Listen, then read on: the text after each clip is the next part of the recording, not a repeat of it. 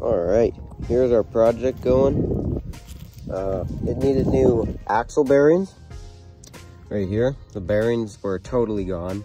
So we are replacing those. Everything's all taken apart.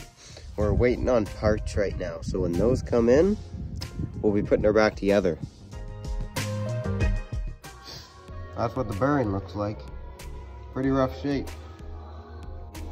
We got new bearings going in there now.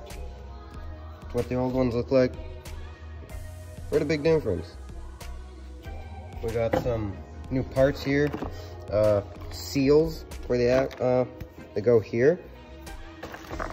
We got a new sprocket because this old one, it was pretty rough shape. It's it's bent. It, it's old, needs to be replaced.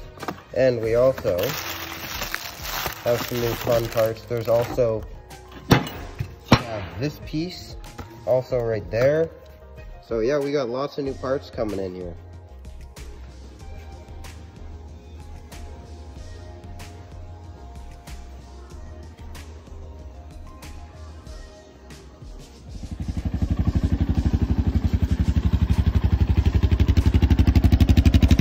back together.